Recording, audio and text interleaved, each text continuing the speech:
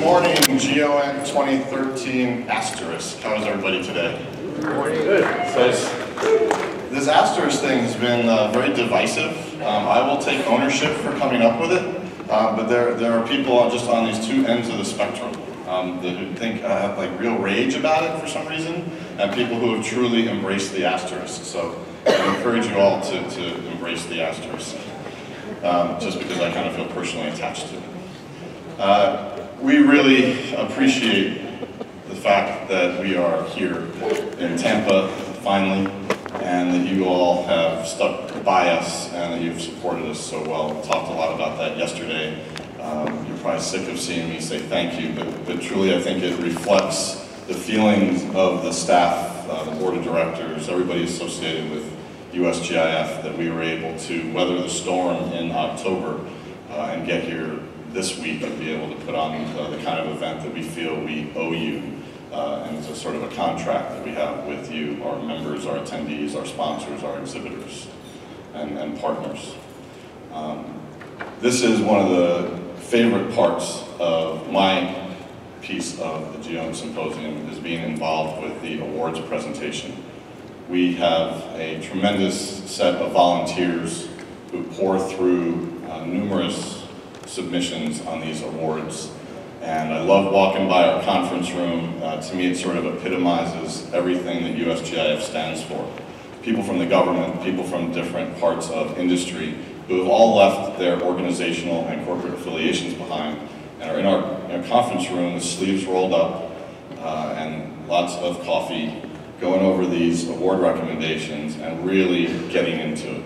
And it's, it's a process that is absolutely uh, clean and pure and right, and the amount of uh, you know, arguing and, and, passion in that room is phenomenal. And, and, what it says to me every time I walk by the conference room and see that again is that's what this foundation is supposed to be about. It's, it's, it transcends government, industry, academia, it transcends uh, specific affiliations, and it is about community, about this geo community, which you know, we, we, uh, we violate all the AP style guides because we keep capitalizing GeoInt community whenever we put it in our magazine, but that's what we, we feel strongly about saying that, that it is a community, and that's, that's the essence of USGIF. So again, I say this every year because we're fortunate to have a gentleman who has walked us through, shepherded us through this process uh, for many years, who is the uh, heads up our awards committee Kevin Jackson is currently the Director of U.S. Government Business Development Sales and MDA Information Systems. He manages this process, he works it through from start to finish. He has you know, a full-time job and then he spends a lot of time devoting hours to USGIF to make this happen. So I'd like Kevin uh, to come up and present the awards with me. Thank you very much.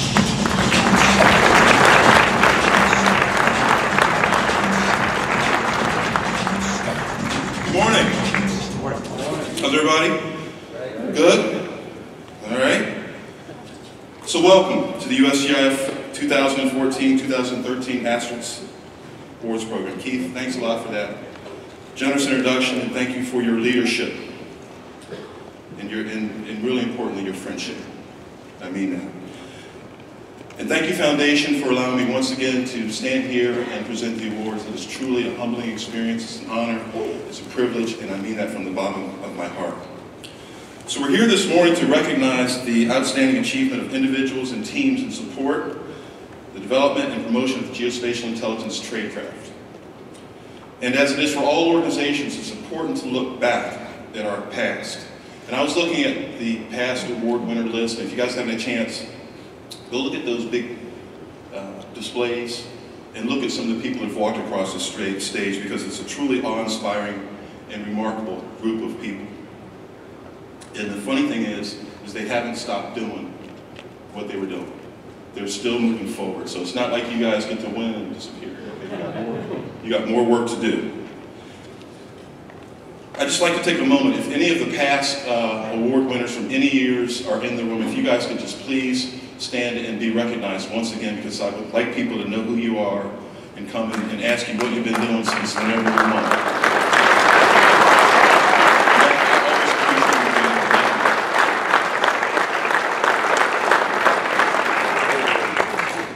Now, you have a little bit of audience participation. By applause, how many people in here have been to at least four GEOINTs? He's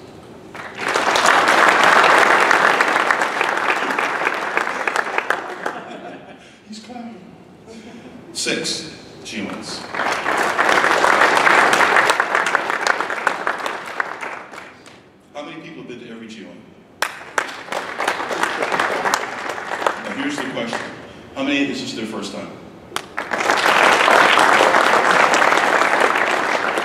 I knew that was going to happen. Well, welcome first timers, and that you are the future. With the exceptional leadership coupled with your enthusiastic engagement of the community support, the next 10 years will look to be even brighter than the first. I'd like to thank the award selection committee. Some of these folks have been with me for like six, seven years, and that's Phoebe Allen, George Myers, Gene Klaus, Peter Flugrath. I just learned how to pronounce his name properly. Gary Atkins, Gary Rogers, and Kevin Morrison were the, the group this year. They had an incredible amount of work to do. We actually, for the very first time, broke a record. I've never said the number before because I never wanted to say it out loud. We had 80 plus nominations submitted this year. So you guys give yourselves a round of applause. That's a lot. So GeoInt has got talent, guys. Let me just tell you real quickly how this process works. Keith mentioned it, but here's what happens. We get these 80 plus nominations in. That selection committee that was up there, they go through each and every one of them. They read them line by line.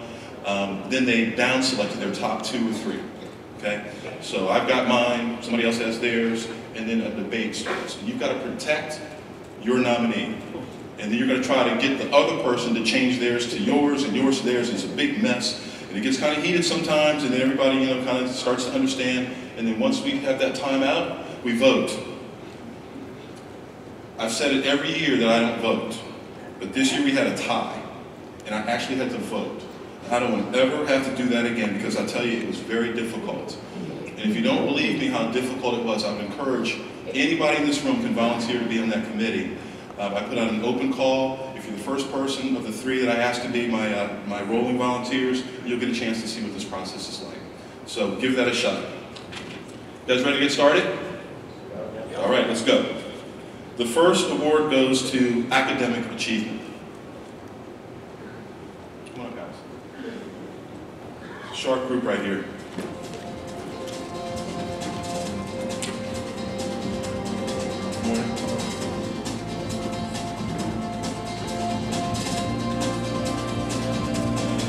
This is the Dover Area High School Geospatial Technology Program. They're working toward educating students about the geospatial technology industry at the high school level. Dover Area High School is a public school with a thousand students. They have limited funds, and they're located in York County in south central Pennsylvania. The geospatial technology program was started in 2007 as an after-school program.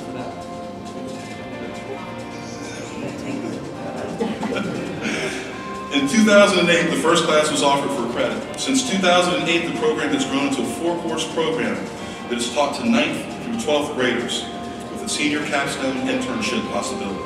The program's main partner is Washington College in Maryland. Today, you guys will be in their booth, right? So get a chance, get a chance to go and visit that booth. You get a chance to see these folks more. The partnership was used to develop the geospatial technology curriculum. The curriculum is now delivered through a Moodle, Moodle, Platform. I thought that was a misspelling. I called last night to make sure. Heard of. Dover currently has graduates studying geospatial technology at the following institutions. Washington College, Harrisburg University, Penn State University, Pittsburgh University, and Shippensburg University. Students have interned with the following community agencies. The Pennsylvania Department of uh, Conservation and Natural Resources, York County Planning Commission, York County 911, County Control, local municipalities, and the Washington College Production Lab. They're very proud to announce that they have students in the armed forces utilizing the geospatial technology training. Ladies and gentlemen, please acknowledge the USGIF 2014 Academic Achievement Award winners. Accepting the award, and we're going to hand these beautiful awards out later. Just real quick, this is what they look like. These are hand blown. Each one of these is unique, as each of our winners are unique. You guys can put this in your, where do you want to put this? Your room? Let's just go down the line and talk about who's here. Raise your hand if you would. The director of the program is Mr. Charles Benton. Brand new Superintendent Dr. Jason Conway. Director of Technical Education, Bill Ricard. Scott Good, the GIS teacher. Now let's talk about the important folks here. How about Shelby Kent, 11th grader?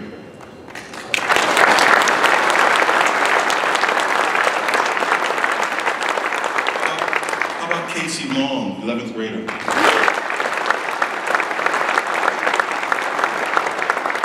my man who's got some serious dance moves, you might go check him out later, Zachary Pelkin, 12th grader.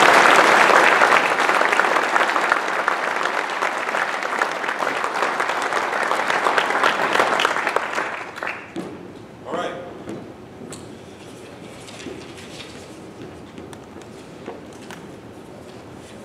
Our next award is Academic Research. Mr. Medina. You know I got home. Richard Medina is an assistant professor of geography and geoinformation science at George Mason University. Go Patriots. You know I went there, right? We'll talk about that. He's one of the preeminent young researchers focusing on spatial analysis and geographical portrayal of terrorist social networks. He has made significant contributions to security studies, specifically to geospatial intelligence. Richard's research is at the foundation of an evolving counterterrorism strategy that exploits human geography, social network analysis, and spatial analysis of terrorists' use of socio-geographic hybrid space domains. He's really smart. He is also a co-author of a new book titled The Geography of International Terrorism that approaches the study of terrorism through a geographic lens. Richard shared something with me, and this is the real deal here. This is, I haven't even told you this yet, Keith. Richard's been to six GEOINTs. You raised your hand when I said six. And the first time he came, he was a student, not high school. College, yeah. First time he came, he was a student. And I'm so pleased that when he leaves GEOINT 2014, he will be your 2014 USGIF Academic Research winner. Ladies and gentlemen, Richard Medina.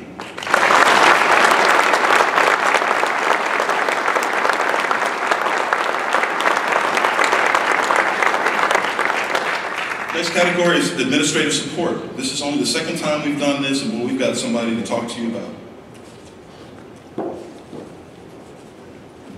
Time listen.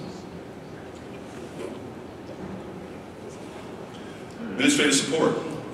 Melissa Martz serves as the Executive Officer to the National Geospatial Intelligence Agency Support Team to the U.S. Department of State.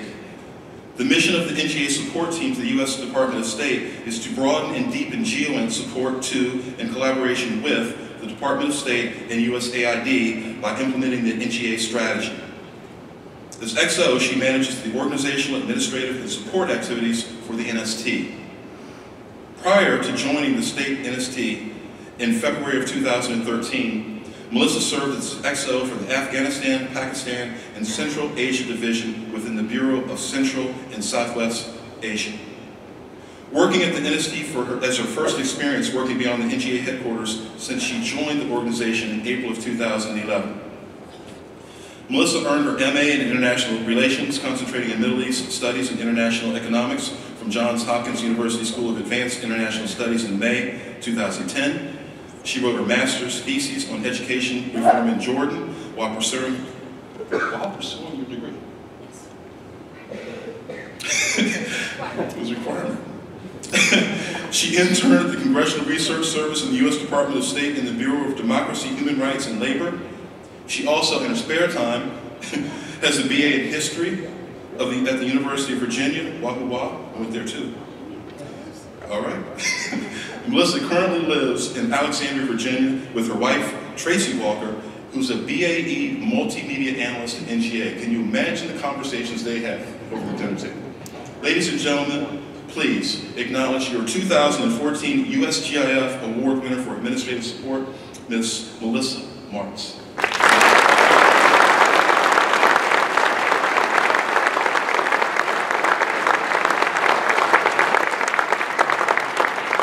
next category is industry. Come on, industry. You guys look awfully, you guys look awfully CEO-ish and sharp. Look at that. Pixia Corporation is a longtime champion for advancing worldwide open standards for accessing large volumes of geospatial data using interoperable, web-based solutions.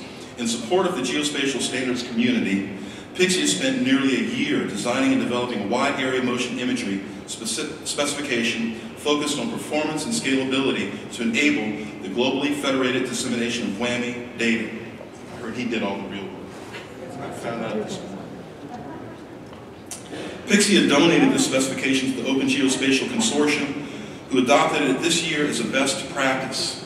This accomplishment and endorsement established a worldwide standard for their 480 plus international members for accessing all the data all the time for worldwide WAMI consumers using the tools, architectures, and workflows of their choice. Ladies and gentlemen, please acknowledge your 2014 USGIF Award winners for industry, Mr. Patrick Ernst, Rudy Ernst, and Scott Cooley.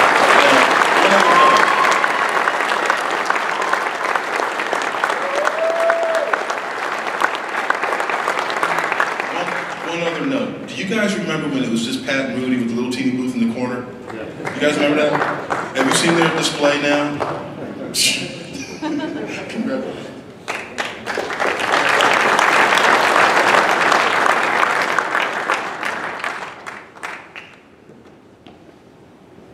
Scott, I know they had you hiding when you were back in those days. You were doing your work. Next uh, category is government.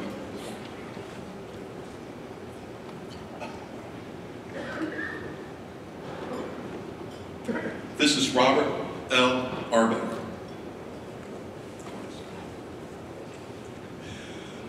Robert L. Arbetter, National Geospatial Intelligence Agency, Bob Arbetter, has been an unyielding force for the last six years in educating, advocating, and formalizing the analytical tradecraft known as Activity-Based Intelligence, or ABI. In 2010, after two years of research and drafting his, and drafting, his office under the then USDI, Mr. Clapper, published a study document that underpinned the ABI movement we see today. Also, during this time, he released the first ever ABI RFI to industry outlining concepts and technical challenges and setting the stage for what is now a program of record to provide NVA and the IC with ABI enterprise services. His subsequent move to NGA to help coordinate ABI activities agency-wide has helped keep the agency on the leading edge of thought and technology in the IC. The countless improvements associated with ABI, too numerous to mention, will help all of us deal with big data, help prevent surprise, and revolutionize the way we do business from analytical, analytical tradecraft to data handling and infrastructure. Ladies and gentlemen, your 2014 USGIF Award winner for Government, Mr. Robert L. Arbetter.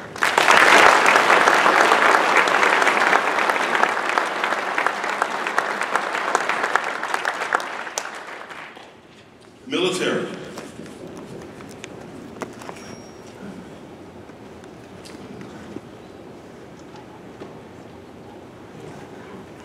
Good morning. So this is the TACSAT 3 explorations, explorations. I'm only going to say this one time. I had to work on this one. This is the U.S. Army Surface Missile Defense Command Army Strategy GWINT Division TACSAT 3. We're going to go with just TACSAT 3. TACSAT 3 exploration, exploration team developed and refined a rapid exploitation process for the advanced, responsive, tactically effective military imaging spectrometer, spectrometer Artemis. It's a hyperspectral sensor on the TS-3 satellite. The team developed the concept as a follow-on to the TS-3 experimental phase.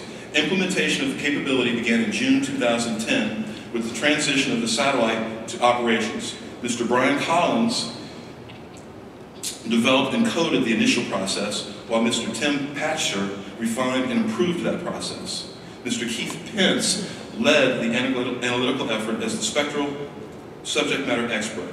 During the course of the 20-month operational phase, the team analyzed and created reports for over 1,700 hyperspectral data sets, analyzing nearly every TS3 collect. This was the first time that a spaceborne hyperspectral sensor had been made available for operational use, and that rapid first phase exploitation had been accomplished on data from such a platform. Ladies and gentlemen, please help me welcome, or they're on the stage, your 2014 USGI Award winners, Mr. Brian Collins and Mr. Keith Pence.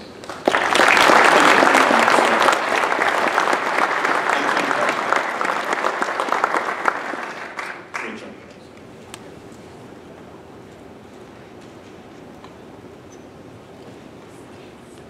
All right. That concludes the program. You guys would all just stand up for a second? Turn back and face them, if you would.